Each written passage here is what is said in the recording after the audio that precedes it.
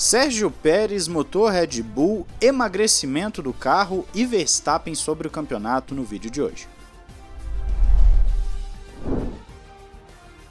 Olá, amigo do Ressaca Fórmula 1, seja bem-vindo a mais um vídeo. Eu sou Matheus Pucci e vamos às principais notícias hoje relacionadas à Red Bull que saíram ao longo da semana e vou compilar tudo para você ficar por dentro começando com o desempenho de Sérgio Pérez, que tem chamado a atenção da Red Bull. Com o abandono de Verstappen no Grande Prêmio da Austrália, Pérez conquistou um segundo lugar que acaba sendo importante para o campeonato tanto do mexicano quanto da equipe.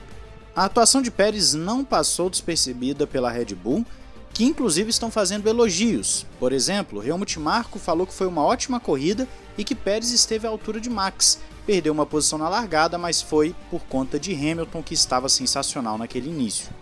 Marco ainda conclui, Marco ainda conclui que era uma causa perdida em com relação a Leclerc, porque ele era mais de um segundo mais rápido.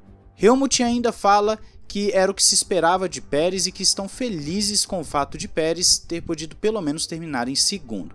Já Christian Horner acredita que Checo teve uma corrida excepcional e mais uma vez teve azar com o safety car, mas já sabem que fez uma ultrapassagem impressionante em cima de Hamilton na chicane e também passou Alonso e George Russell para chegar no pódio, então foi uma grande recuperação. A Red Bull elogiando o Pérez porque ele está fazendo aquilo que se espera do segundo piloto da Red Bull, que é andar próximo ao Verstappen e quando o Verstappen não puder, esse piloto então conquistar os pontos importantes para a equipe. Como o Helmut Marko falou, o Leclerc estava muito rápido, não tinha como chegar até o Leclerc, era uma outra categoria, mas dentro das possibilidades, Pérez acabou maximizando os pontos, o que para a Red Bull acaba sendo muito bom, ainda mais com três abandonos em três corridas, o que com certeza já ligou o alerta lá na Red Bull. Mas você tem gostado dessa performance do Pérez no início da temporada? Diz aí nos comentários. Agora vamos falar sobre o motor Red Bull.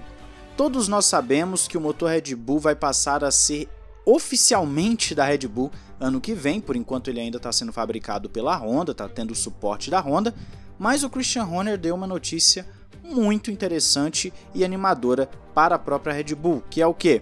O motor será testado ainda em 2022, o que mostra que o avanço da fábrica está bem legal e a Red Bull está conseguindo já concluir algumas partes importantes. Christian Horner fala que vão concluir a construção da fábrica e fazer a mudança para lá em maio. E até o final do ano, o primeiro motor da Red Bull será testado em dinamômetros. Então há um progresso acontecendo e eles estão emocionados porque é um projeto emocionante. Horner ainda conclui dizendo que atraíram talentos extraordinários de toda a indústria e estão abrindo um novo capítulo. E embora 2026 pareça distante, na verdade está muito mais próximo do que imaginamos. Realmente, apenas 4 anos até 2026 e a Red Bull já fazendo o seu motor, que tem sim os rumores de que vai fazer a parceria com a Porsche. Ainda não tem nada confirmado, estamos acompanhando de perto. A Volkswagen deu sinal verde para a Porsche e Audi negociarem a sua entrada na Fórmula 1. Parece que tem um outro entrave, como por exemplo a possibilidade de regulamento ficar feito antes da Porsche e Audi confirmarem a sua participação na Fórmula 1. Parece que seria uma exigência dessas marcas para justamente não ter problemas, nenhuma surpresa, nada alterado de última hora. E mas a Red Bull está sendo rumorizada, vamos assim dizer, numa parceria com a Porsche, o que seria bem-vindo, seria uma parceria bem legal e também já está sendo especulado há muito tempo todo esse processo. Mas e aí, você acredita nesse motor Red Bull? Acredita que a Red Bull vai conseguir tirar o déficit que tem, por exemplo, para a Ferrari em termos de motor? Diz aí nos comentários.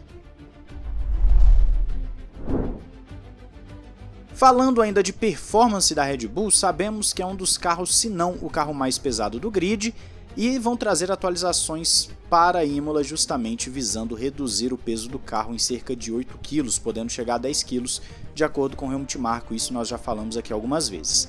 O interessante disso tudo é que dessas peças mais leves que estão chegando, uma já estreou na Austrália, que foi uma nova asa dianteira, que contou com uma revisão aerodinâmica e segundo a explicação oficial que a equipe tem que dar à FIA na sexta-feira, algumas modificações para redução de peso que diminui também o volume geral do conjunto. De acordo com motorsport.com, as mudanças na placa final da asa dianteira são bem óbvias quando comparadas à especificação anterior, já que não apenas a ponta superior passou por uma mudança de perfil, como também o plano de mergulho.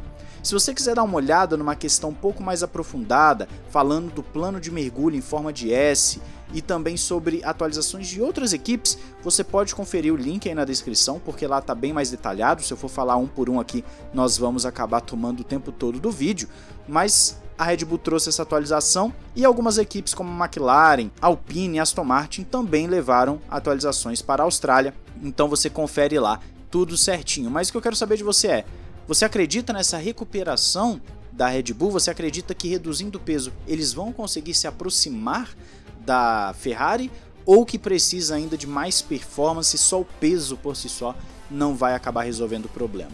Diz aí nos comentários. E agora vamos para a última notícia de hoje, que é basicamente Max Verstappen comentando o carro, o abandono, as chances de título para a temporada. Você já deve ter visto essa notícia em vários portais, saiu em alguns canais também, mas eu estava aguardando para esse compilado da Red Bull. O que acontece? Verstappen abandonou já duas provas em três, perdeu muitos pontos por conta disso, conseguiria pelo menos um pódio em cada uma dessas corridas, e claro que numa disputa de campeonato isso acaba sendo muito prejudicial, e méritos da Ferrari por ter feito um carro muito eficiente e de ter um piloto que está conseguindo pilotar sem erros, que é o Leclerc. Mas nessa brincadeira toda, Verstappen fala o seguinte: Estando tão longe no campeonato, acho que são 46 pontos. A partir de agora precisamos estar à frente. Precisamos ser mais rápidos, o que não estamos no momento e precisamos ser confiáveis, o que também não somos, então há muitas coisas para trabalhar. Questionado, inclusive, sobre as hipóteses de título, Verstappen respondeu: Nem penso nisso, no momento não há razão para acreditar nisso. Então, Verstappen, eu não vou dizer que ele joga a toalha, mas ele deixa muito claro que, pelo menos no momento, com a circunstância do campeonato, mesmo estando bem no início, não é o cenário ideal e nem realmente tem que pensar nisso, tem que pensar em terminar corridas. Só vence campeonato quem termina corridas. E o Christian Horner fala justamente para o Verstappen não desistir.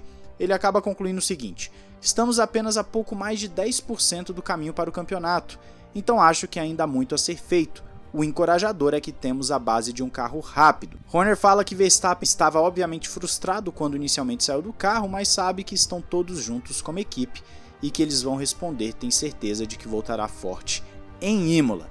Então a Red Bull tem esperanças de melhoras, o Verstappen já está com o pé um pouquinho mais atrás, falando que precisam melhorar, que hoje não estão disputando o título, etc, etc. O cenário na Red Bull é esse. No vídeo de ontem da Ferrari você viu também como a Ferrari está muito forte. Eles nem vão levar grandes atualizações para Imola porque sabem que o carro é excepcional. A Ferrari fez um trabalho exemplar. O carro deles, a base do carro deles é mais rápida do que os carros com atualizações das rivais, então sim, a Ferrari fez um trabalho fenomenal e a Red Bull está correndo atrás com atualizações e também vai ter que dar um jeito na confiabilidade do carro, caso contrário, vão acabar ficando para trás de novo.